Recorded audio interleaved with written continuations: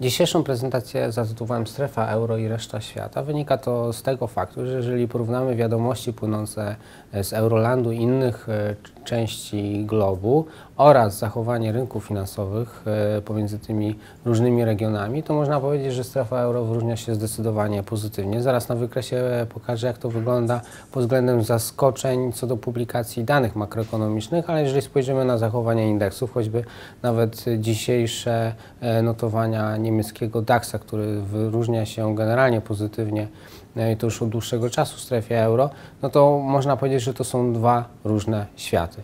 E, jeżeli chodzi o amerykańskie e, dotychczas najsilniejsze akcje, no to z nich w tym momencie odpływa kapitał. E, wynika to z obawy co do podwyżek, nadchodzących podwyżek stóp, zbyt wysokich wycen i możliwości obniżenia zysku względu na wysokiego dolara w pierwszym kwartale tego roku, również w dalszej części tego roku i de facto, jeżeli porównamy dane publikowane z Stanów Zjednoczonych oraz Europy, e, to Stanów Zjednoczonych poza rynkiem pracy generalnie pozytywnych zaskoczeń nie mamy.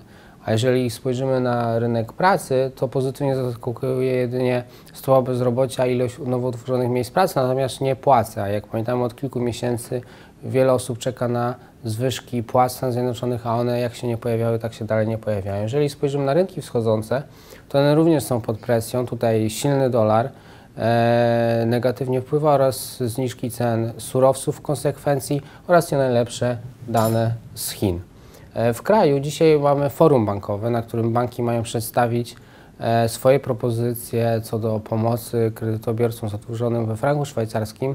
E, już przecieki prasowe od pewnego czasu pojawiają się, jakie to mogą być propozycje. Najnowsze sugerują, że mają być, banki proponują tworzenie dwóch funduszy, ale generalnie, aby z nich skorzystać ze środków pomocowych, to po pierwsze trzeba być, e, mieć dochody poniżej średniej krajowej, co dotyczy tylko 20% kredytobiorców, e, a po drugie część pomocy nawet może być zwrotna z innego z funduszu, czyli oznacza to, że jeżeli chodzi o te propozycje, to dla banków one są zdecydowanie bardziej korzystniejsze niż ta wcześniejsza propozycja szefa KNF. No tym niemniej cały czas tutaj, jak wiemy, do maja E, będą pewnie trwały pewne targi, a to przedłuża ten okres pewnej niepewności sektora bankowego.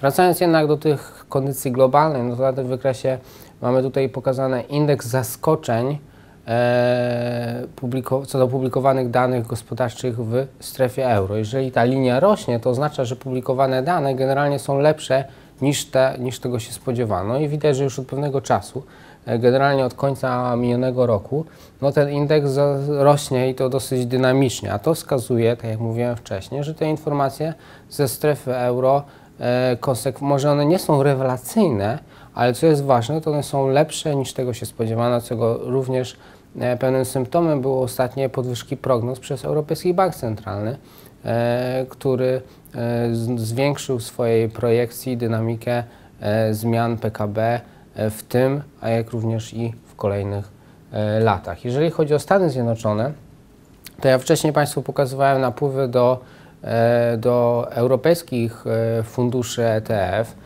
To była bardzo, bardzo wysokie napływy, największe przynajmniej od 2006 roku, a tutaj mamy napływy, czy de facto odpływy z ETF-ów na akcje amerykańskie. No i widzimy tutaj, że po raz pierwszy od e, de facto 2009 roku, w tym kwartale, jeszcze nie zakończonym, e, ale wszystko wskazuje na to, że będzie to pierwszy kwartał, w którym zobaczymy odpływy e, z ETF-ów inwestujących w akcje amerykańskie, czyli widać, że ten przepływ kapitału jest dosyć tutaj zauważalny, czyli z, ze Stanów Zjednoczonych do strefy euro i tutaj strefa euro jest E, premiowana. A co jeżeli chodzi o rynki wschodzące? No, rynki wschodzące, jak widzimy na tym wykresie MSCI Emerging Markets, to jest wykres dniowy. Ostatnie dni no, nie są zbyt korzystne. Zostało wyłamanie z tego e, kilkutygodniowego e, trendu wzrostowego rozpoczętego jeszcze w grudniu e, minionego